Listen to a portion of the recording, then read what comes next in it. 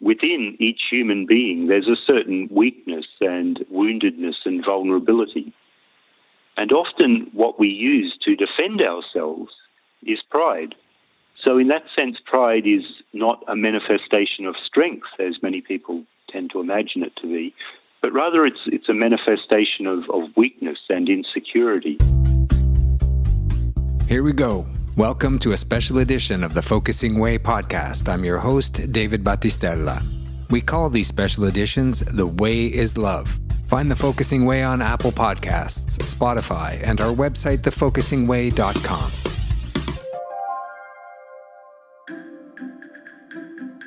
Today, on a special edition of the Focusing Way podcast, we're talking about the virtue of humility no matter what times humanity is living in or humanity has lived through. Humility is the one human virtue that is the cornerstone to all virtues. Humility is regarded as the foundational virtue, and it is said that there is not one soul in heaven who does not possess this virtue. The 14th century writer Thomas à Kempis may be best known for his most famous work, The Imitation of Christ. But now, in a new volume by Tan Books, they have uncovered an important work simply titled Humility and the Elevation of the Mind to God. My guest today is Father Robert Nixon, OSB, a Catholic priest and a monk of the Benedictine Abbey of the Most Holy Trinity in New Norcia, Western Australia. Father Nixon has translated this work, making it available for the first time in the English language. Father Robert Nixon, welcome to The Way is Love on the Focusing Way podcast. Thank you very much, David. I'm very pleased to be with you uh, today.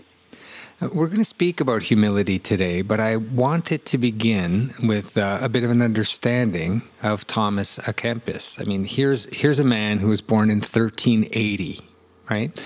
And um, how does the writing and a life of a person born so long ago have relevance and impact on the Christian life today? Well, uh, that's a very interesting question. On a certain level, the issues of human life, human interactions, our relationship with God and with our fellow human beings are really uh, an eternal matter um, in that they don't change so much from one age to another. And we look back and we think, well, that was so many centuries ago that he was writing. But when we read the words of Thomas à Kempis, we can uh, often be struck, as indeed I'm often struck, by, by realizing that these words could be written today about situations and issues and problems which people are experiencing in the modern world.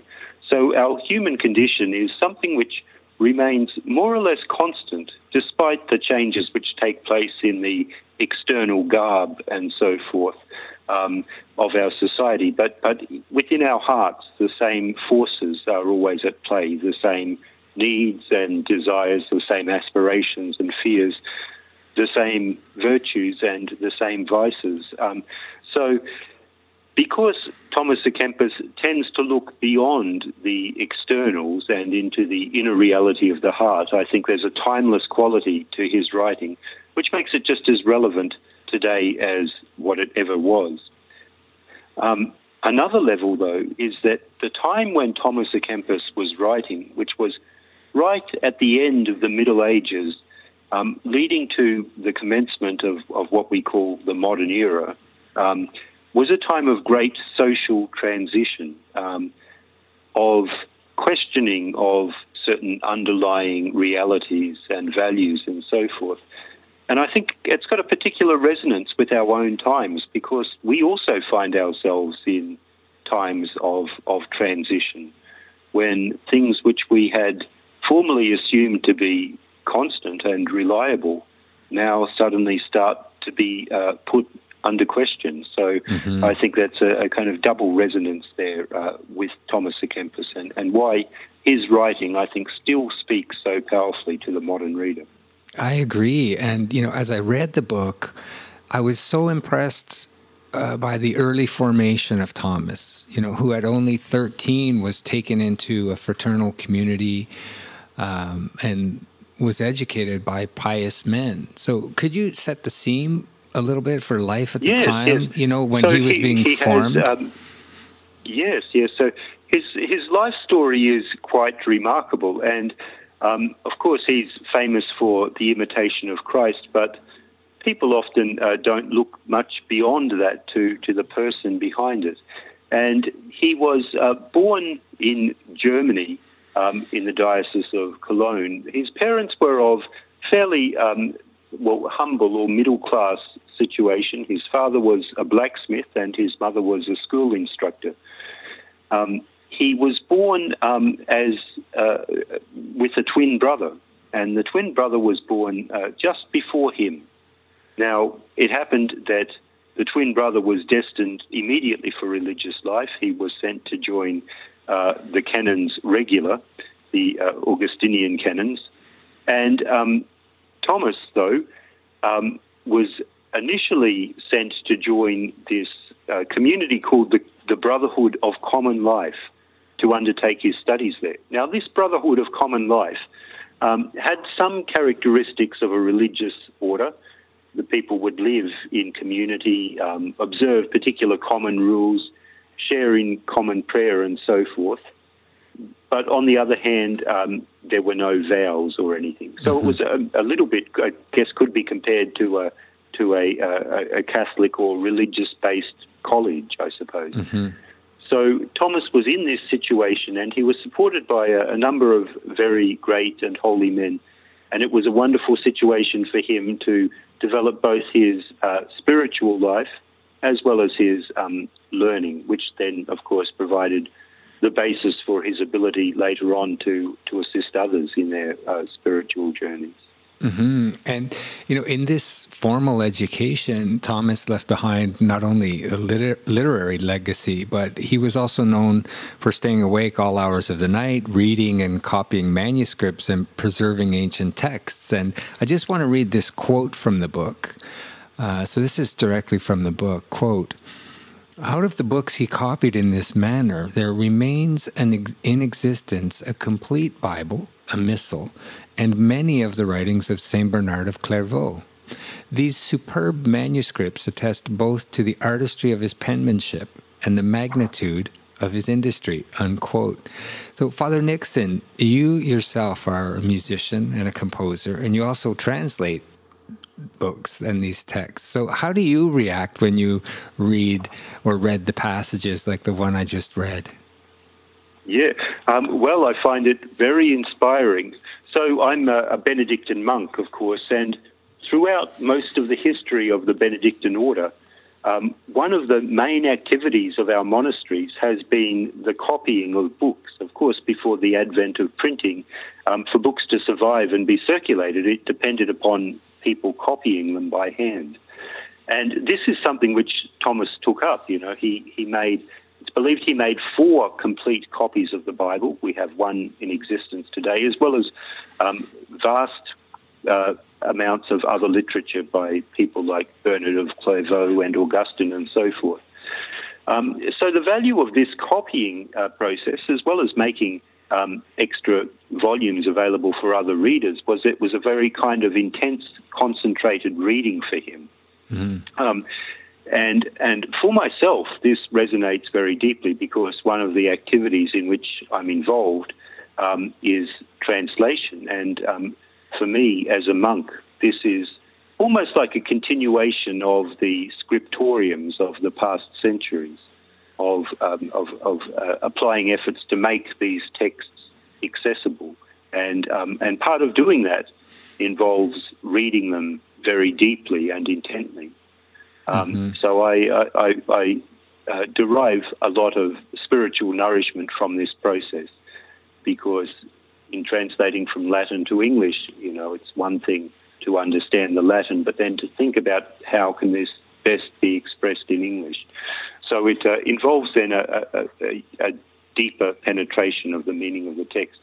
Mm-hmm. And I think that that was something which was very important to Thomas uh, Kempis because he wasn't compelled to undertake this extra work, but it was something which he really loved.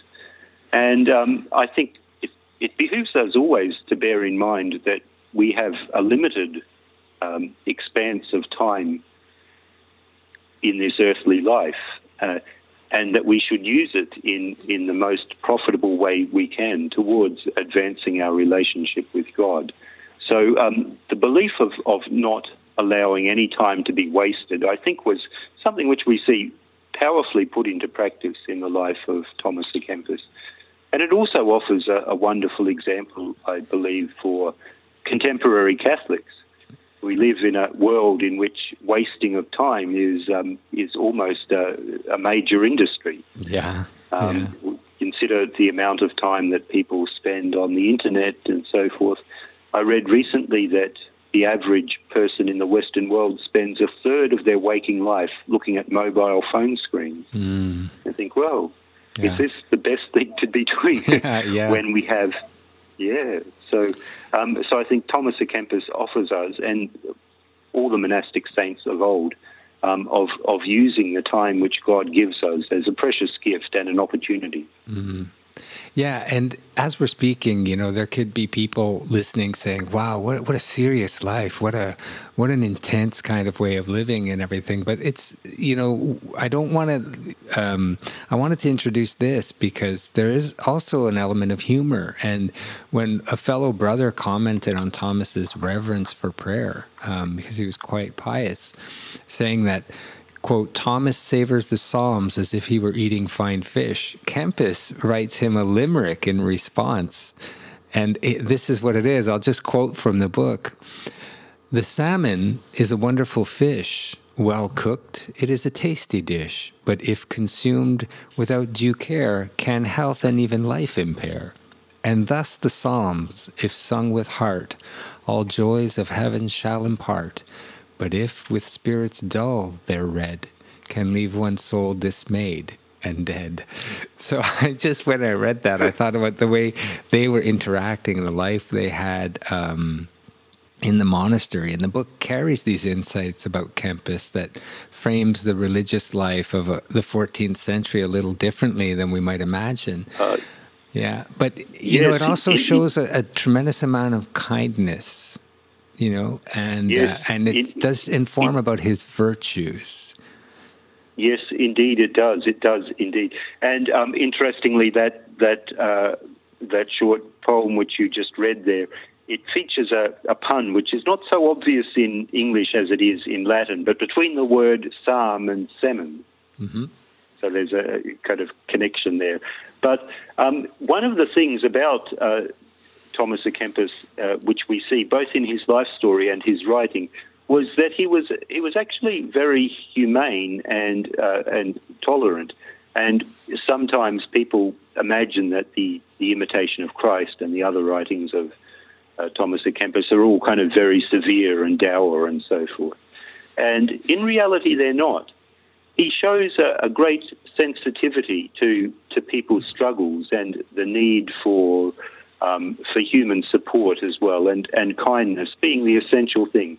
You know, each of us needs kindness in our life, and each of us um, owes to each other this element of kindness. And of course, humor is a very important part of um, monastic life, of religious community life in general, as well as all our human interactions, because um, conveys a certain charity and, and, and love, you know, and, and a readiness to forgive.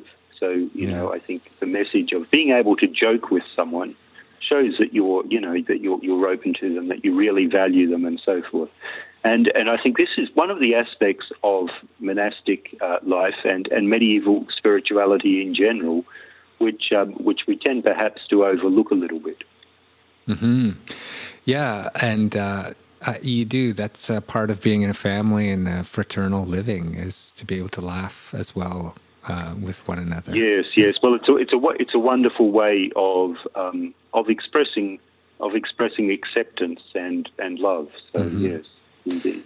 Uh, he doesn't really waste words. And one thing I love about this book is really the direct and instructive form of language used. And even though the words sometimes come across or the sentences may seem sort of simple, when you actually reflect on them and their implementation of what you know how you would implement what is being said it really uh, provides us with an opportunity to overcome some parts of our internal life or you know to take to our mental prayer. But uh, what what do you think is maybe the greatest obst- obstacle for gaining or learning this virtue of humility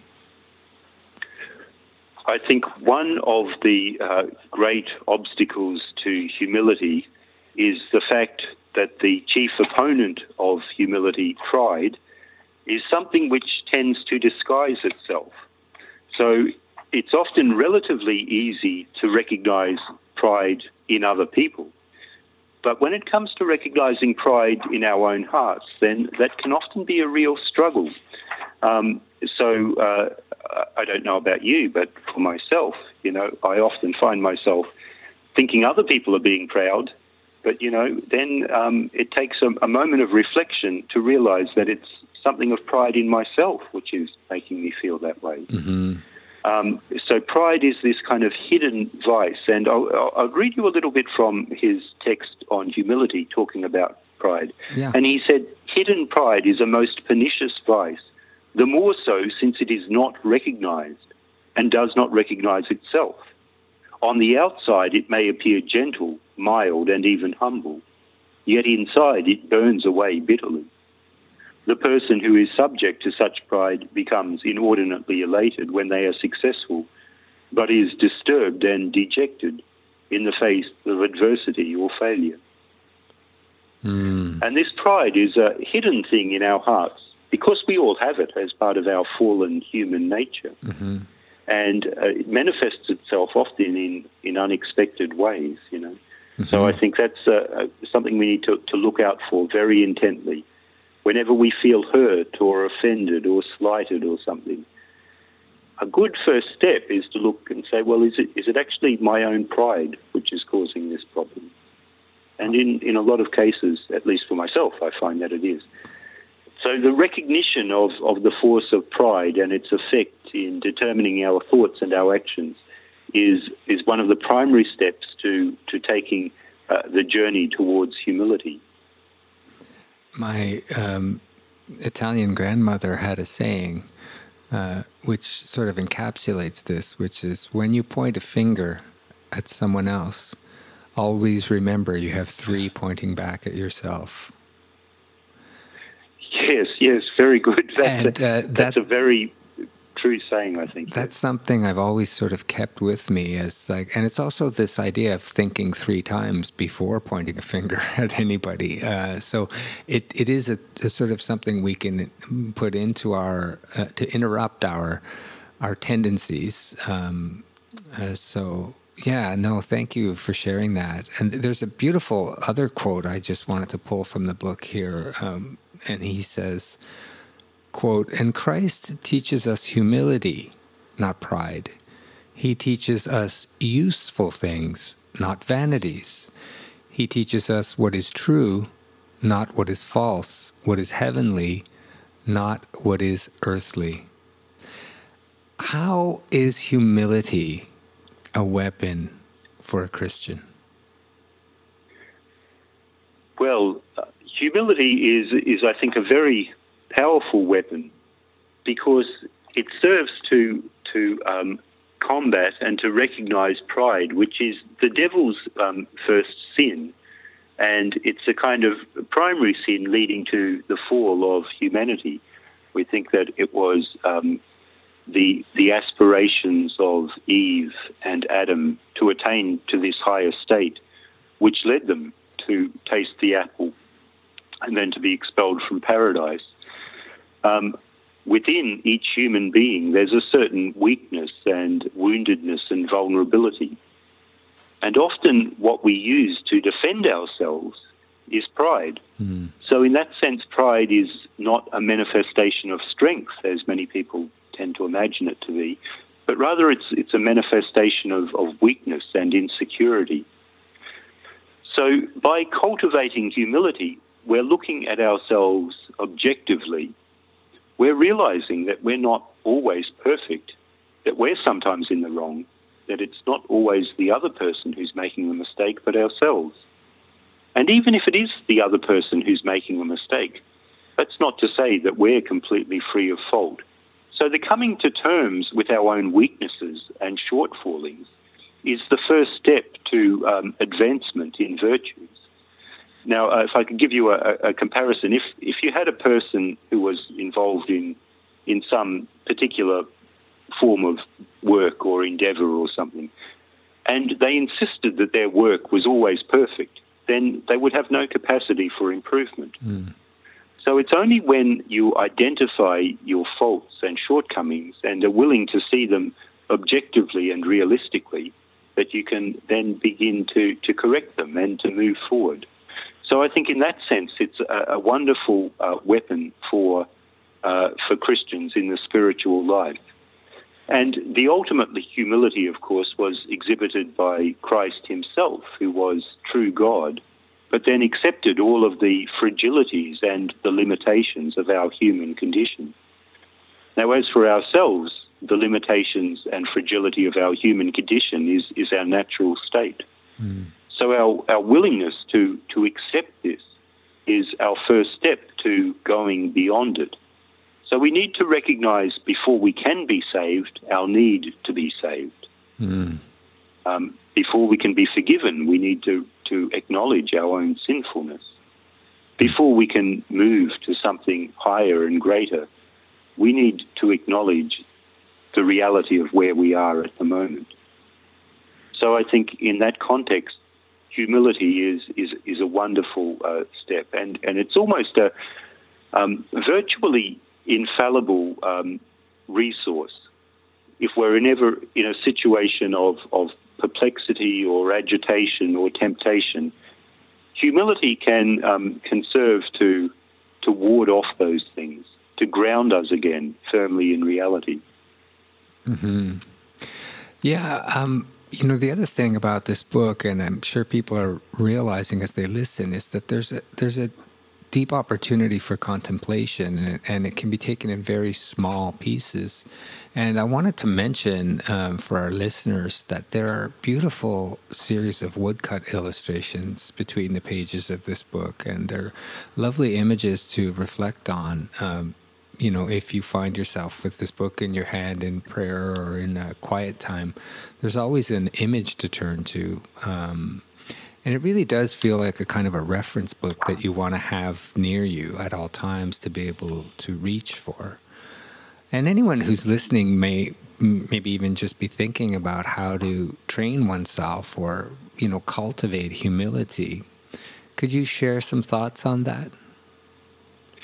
Yes, yeah.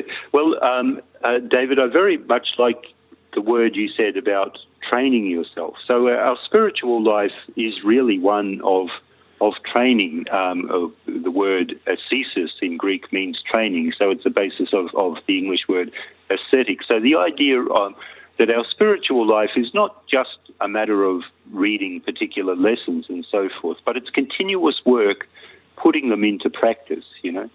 And um, we uh, are all called to to uh, to struggle for this moral improvement because through this moral improvement we um, begin to purify ourselves of the things which attach us to this lower realm. Mm. We think about all the various vices that can affect a person um, greed, lust, sloth, and so forth they all serve to, um, I would say, ground us, but not in a good way. They bring us to our lower nature and they give a certain dominance to the material or animal side of ourselves. Mm-hmm. Now, humility is a recognition that those lower forces are at work within ourselves. And it's only by recognizing them that we're able to overcome them. And this overcoming of the lower forces within ourselves then opens the door to the wonderful experience of contemplation. So um, I sometimes like to think about the analogy which Plato uh, uses of the human being as being like a, a chariot being drawn by two horses. And one of these horses is leading us downwards, and one of them is leading us upwards. Mm. So we have these vices, these um, carnal desires, these lower psychological impulses of self defense and self assertion and so forth, which bring us downwards. But our, each of us has a soul formed in the image of God. And the natural tendency of this soul is towards union with God, um, towards what is eternal, towards what is good and perfect in an absolute sense. And so contemplation is our, our foretaste of this. It's our means of approaching this, even while we're still here on earth. And, and it, of course, it's something which we need to train on to work ourselves in every day. Um, I think the spiritual life is it's a little bit like playing a musical instrument or, or doing a sport or learning a language or something. Uh, it's not enough just to read the book and then put it on the shelf, but it needs to be continually worked at. And I think it's in this sense that books like like this one and other spiritual writings of this type are so useful because they're not books you just read once and say, I'm finished with it, but uh, books which you can read and read again. Mm-hmm. And that, of course, is something which was very p- much part of the traditional monastic approach to reading, that you didn't just read something once and we're done with it, but you, you would revisit it.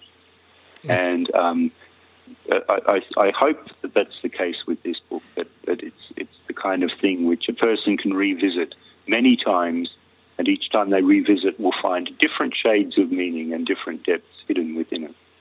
I think that's certainly true. And one of the things, uh, you know, the, the section of prayers in humility and the elevation of the mind to God is really robust. And um, one thing I noticed going through the prayers was that you know we've kind of reduced our prayer life to two very short prayers one to our lady and one to our father. And the prayers in this book go on for pages. And it, it was also a testament to the times of like how much people how much reverence people uh, understood they needed to have before uh, god and uh, you know, you mentioned detachment earlier, uh, and there's a beautiful prayer for detachment of earthly things. Um, ah, yes. Uh, but you know, you see, there's. Can you talk about this in terms of how this fervent love that Kempis had for God, and how we kind of see this true love in in the lives of the saints, really? And I'm just yes. that sense of like being able to write prayers that are that devout you know do you have a favorite or like or yes just, yes yeah. I, well well um, yes I, I do. And you know I think this this practice of writing prayers is um, for for Thomas was a matter of pouring out his heart to God you know. And of course we can say um, you know prayers according to existing formulas but I think there's always a certain um, merit in, in kind of coming up with our own prayers because it, it makes us look more deeply, to examine our own hearts and to see what's in there and to offer it all before God. And, you know, um, when you ask me if I have a favorite, well, I, I, I do, but to be honest, um, a way, they're all favorites. But I think the one you mentioned of detachment from earthly things is, is uh, very strong. And um, he talks here um, this is one of the prayers. It's a prayer that the mind may be freed from its bondage to the things of the physical senses. And that's a really key thing. As I mentioned before, you know, our, our souls have this tendency towards heaven, but because of the fall of humanity, we also have this downward tendency, mm. which imprisons us in the world of the physical senses. And if we think about our human condition a little bit, all of our sorrows and unhappiness actually come from excessive attachment to the physical world. Mm-hmm. But I'll, I'll, read you a little bit of this prayer if you don't mind. Yes, uh, absolutely. Because, uh, okay. I earnestly beseech you, my God, and pray to you from the very depths of my being. Free me and rescue my soul, which is currently distracted and held captive by all kinds of earthly cares, worries, and desires. By the radiance of your enlightenment, May I discover you within myself, O God. For truly you fashioned me in your own divine, precious, and incorruptible image. Indeed, the beauty and likeness of your supreme wisdom does not shine forth in any created thing in the world as much as it does in the human soul. You made the human soul alone with the capacity to know and to love you, and through the gift of reason, placed it above all other things in creation. Lord, raise up my mind from all earthly concerns, and purify the affection of my heart. Renew me according to the interior man which you lovingly created. Repair your divine image within me through the sevenfold grace of the Holy Spirit.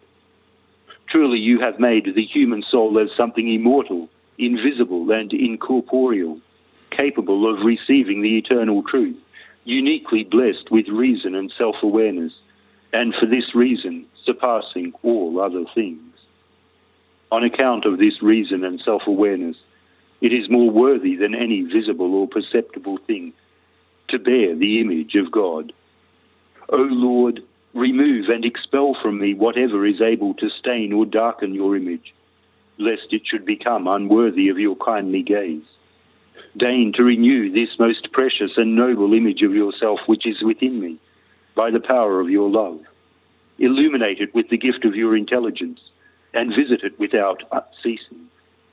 For in your omnipotence, it is you alone who hold it in being, and in your omniscience, you perceive and comprehend it always and in full. Of course, I am not worthy to drink from the springs of living water which flow into eternal life. But please, O Lord, visit me frequently, and in your love, help me to raise myself above all earthly distractions and all lower realities, and to see you alone, for you are the one eternal goodness. Let me seek you above all else and love you completely for your sake alone. Amen. Amen. So much is evoked in those words. And as you were reading that, the image of having that personal relationship, like writing a letter to God um, and entering into that through that kind of contemplation. It's precisely what this book offers people. They see yes. physically the opportunity of a person who had those conversations in written form, and I'm sure in mental prayer and in in also in um, daily prayer. Uh, but that it that it exists, and I'm just. Is it any surprise to you now, look like 600 years later, you know, that really our entire world has become precisely about disordered attachment to worldly things. Yeah. And that the, this is it now has, still available to us. Yes, it, it, it has very much, you know, and um, of course there are forces in the world in whose interest it is to attach us as strongly as possible to earthly things and to minimize the aspect of, of the spiritual life within the human being. Um, and by doing that, they haven't advanced human happiness at all. If we look back, I believe, at the last uh, 500 years of human history, despite all the technological and uh, economic advancements, if we were to ask, are human beings happier today than they were in the Middle Ages? Um, I think in most cases the answer would be no. And uh, this is one of the things which I think in general our culture is lost a sense of the spiritual reality and the fact that we are really made in the image of God and we're called to the glory of heaven. And in the context of that, all of our earthly troubles and worries and desires and so forth begin to seem very unimportant. And now, when you hear the word humility, you know, a lot of people might imagine that it's more or less the same as low self esteem, as being kind of downcast and oppressed and so forth. But I think it's quite the opposite of that, because it's pride which attaches us to the lower part of our nature. Mm. It's pride which makes us to become enslaved by the things of this world. And in humility, in casting off that pride, in recognizing it for the illusion that it is, we attain to this true inner freedom and uh, inner happiness, which then doesn't oppress us, but on the contrary, opens the door to this wonderful elevation to, to what is eternal, to what's truly good, and to what truly matters. So I think it's a great, it's a call to freedom, this humility. Yeah, and um, it's just it's just such a, a wonderful um, thing that you've just expressed there. Uh, that it just feels like such a good moment, unless you feel like there's anything else you wanted to share. Um, to to close on that point and to uh, encourage people to look at humility, look at virtues, uh, and yeah. do an examination, you know, even a small one, uh, and bring that into their yeah. life. Yes, yes.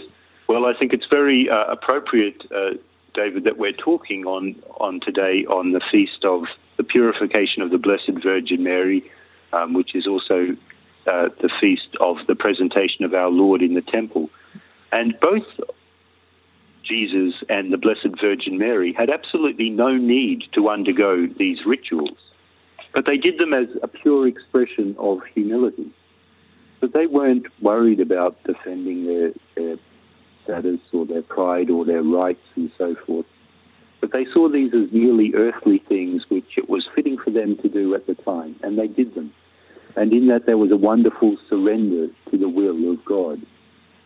I would encourage all people today to, bear in mind always the examples of Christ and of the Blessed Virgin. In Christ, we see God Himself, who took on all the humility and the lowliness of our human condition, um, who consented to the ultimate suffering. We see in the Blessed Virgin Mary a person who was absolutely immaculate, the crowning splendor of creation and, and free from all um, the taints of sin, which are such a part of life for most of us. And yet, when we look at her life, we see a life of, of humility, of obedience to the will of God, um, of accepting her role as the, uh, the wife of Joseph and the mother of Jesus. So we see these splendid examples, and I think it's great for each of us to look at ourselves often, you know, at least once a day. And in particular, when we find ourselves hurt and offended in, and in conflict, and to ask ourselves, you know, is there any pride going on here? And of course, the answer is almost always yes, there is some pride going on because we're all weak human beings and we're uh, infected by these various taints of sin.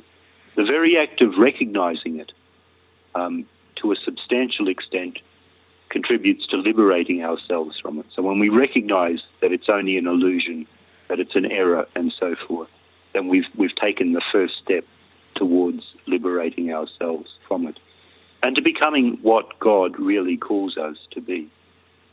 Father Nixon, I'd like to thank you very much for the time you took today, for the wisdom that you shared, and for the work you did to bring the very first uh, version of this work in English so that uh, a whole new audience can experience the spiritual strength uh, in the words um, and of this uh, blessed person.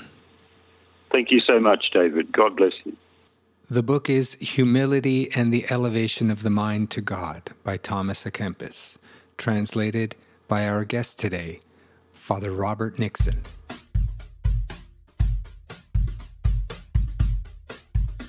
Like and subscribe on thefocusingway.com. Listen to us on Apple Podcasts and Spotify.